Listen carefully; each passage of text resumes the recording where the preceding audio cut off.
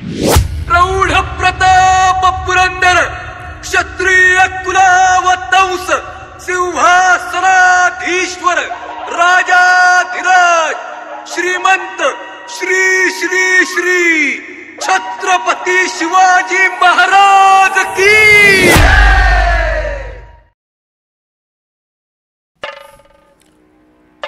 स्वराज्य का निर्माण करावे? ही समज आल्यापासून ते अगदी शेवटच्या श्वासापर्यंत छत्रपती शिवाजी महाराजांच्या आदेशानुसार स्वराज्याची सेवा करणाऱ्या मावळ्यांमध्ये एक नाव आवर्जून घ्यावे लागते आणि ते म्हणजे शूर शिलेदार येसाजी कंक यांचे. येसाजी कंक यांच्याबद्दल अजून एक विशेष गोष्ट म्हणजे ते अतिशय बलदंड शरीराचे होते. शंभर हत्तीचे बळ असलेला माणूस अशी उपाधी येसाजी कंक यांना दिल्यास अतिशयोक्ती ठरणार नाही.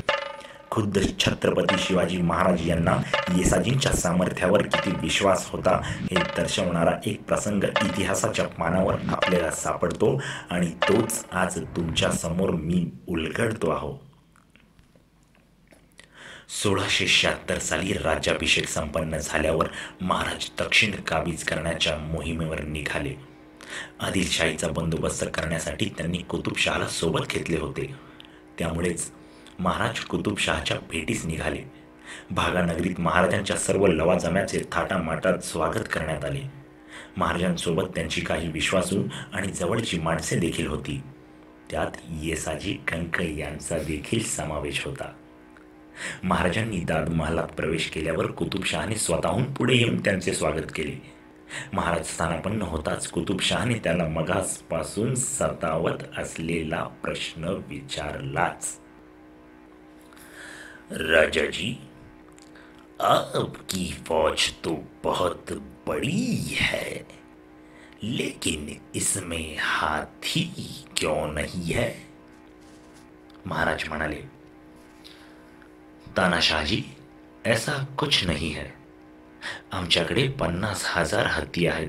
मतलब एक एक सिपाही हाथी के बराबर है. जर विश्वास बसत नसेल तर तुम्ही आमच्या शिलेदारांपैकी कोणाचीही निवड करा. वो आदमी आपके फौज के किसी भी हाथी के साथ जंग करेगा.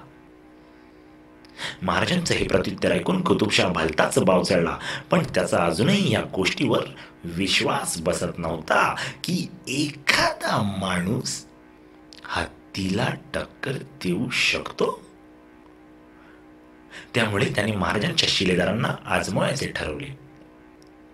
त्याने महाराजांच्या भोवती उभ्या असणाऱ्या माणसांकडे नजर टाकली.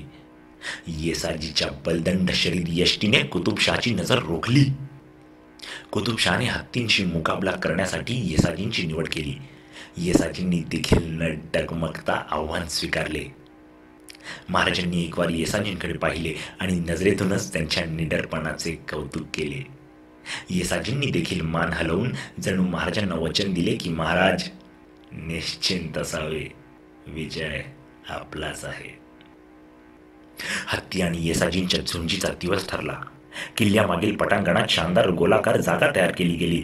सभोवताली माळी रचून प्रेक्षकांसाठी आणि मान्यवरांसाठी बसण्याची जागा तयार करण्यात आली आणि अखेर अखेर तो क्षण आला. येसाजींनी महाराजांचा आशीर्वाद घेतला आणि नंगी तलवार हाती घेऊन आत्मविश्वासाने ते मैदानात उतरले. कुतुबशाने सैनिकांना इशारा दिला आणि मागील दरवाजाने साखळ दंडात बांधलेला हत्ती जोर जोरात आरोल्या ठोकत आत शिरला.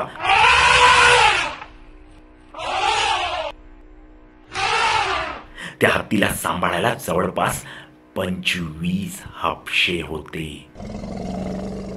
म्हणजे विचार करा त्या हत्तीची ताकद काय असेल? हापशांनी त्याला साखळ दंडातून मुक्त केले आणि तो मदांध हत्ती समोर उभा असलेल्या येसाजीनं पाहून अधिकच मस्तीत आला. त्याने चवताळच सरळ येसाजींवर चाल केली. हत्तीच्या चालीची येसाजींना जणू अपेक्षा होतीच. त्यांनी डाव्या बाजूला उडी घेत हत्तीला चकवले. जमलेले प्रत्येक डोळे जीव मोठी धरून तो थरार पाहत होते. हत्ती आणि माणूस या दोघांमधील लढाई हत्ती जिंकणार याची जणू सर्वांना खात्री होती पण केवळ येसाजींचा संघर्ष पाहायचा म्हणून ती प्रत्येक नजर तेथे हजर होती. येसाजीनं काही वेळ हत्तीला खेळवले. समोरचा इवलासा माणूस आपल्याने परत नाही हे पाहून हत्ती अधिकच आक्रमक होत होता. तो सर्व शक्तीनिशी येसाजींना पायदळी तोडवण्याचा प्रयत्न करत होता पण येसाजी त्याला एखाद्या खेळण्याप्रमाणे खेळवत होते. अजून काही वेळ असाच गेला. येसाजी खेळवत होते आणि हत्ती खेळत होता. सततच्या धावण्याने अखेर हत्तीला थाप लागली आणि त्याची आक्रमकता कमी झाली. येसाजी जणू याच संधीची वाट बघत होते. यावेळेस त्यांनी स्वतःहून पुढे जाऊन हत्तीला जोरदार धडक दिली. सह्याद्रीच्या दऱ्याखोऱ्यात मातीत कमावलेल्या त्या बलदंड शरीराचा धक्का बसताच क्षणभर हत्तीही जागेवरून हल्ला. पण अचानक त्याने स्वतःला सावरत येसाजींना सोंडीत पकडले. पण येसाजी हार मानतील ते कसले?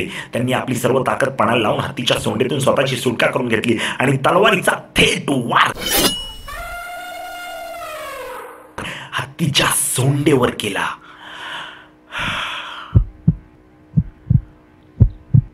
बघणाऱ्यांना स्वतःच्या डोळ्यावर विश्वास बसत नव्हता. कारण हत्तीची सोंड छाटली गेली आणि हत्ती मारला गेला होता. कुतुबशाह तर केवळ तोंडात पोट घालायची बाकी होता. येसाजींनी घातलेला घाव हा त्या लढाईतला निर्णायक घाव ठरला. त्या जबरदस्त घावामुळे हत्तीचा सगळा जोश उतरला. हत्ती जागेवरच मेला. हत्ती आणि माणसाच्या झुंजीत झालेला हा विजय माणसाचा नव्हता. कारण अशी अचाट कामगिरी करणे प्रत्येकाला शक्य नाही. तो विजय होता येसाची कंक नामक सामर्थ्याचा त्यांच्या रांगड्या हिमतीचा. सर्वत्र टाळ्यांचा कडकडाट होत होता. सर्वत्र येसाजींच्या नावाचा गजर होऊ लागला. येसाजी देखील सर्वांना अभिवादन करत होते. इतक्यात त्यांची नजर महाराजांच्या नजरला मिळाली आणि त्यांची छाती गर्वाने अधिकच फुलली. कारण त्या टाळ्यांच्या कडकडाटापेक्षा त्यांच्या दृष्टीने मौल्यवान होता.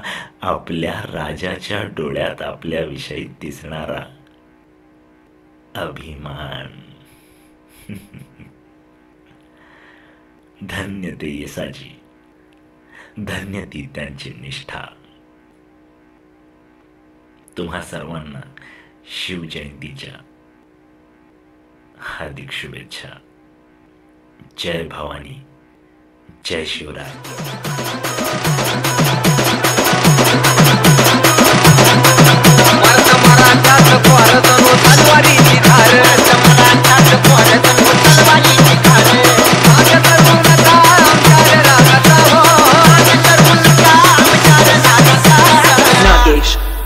더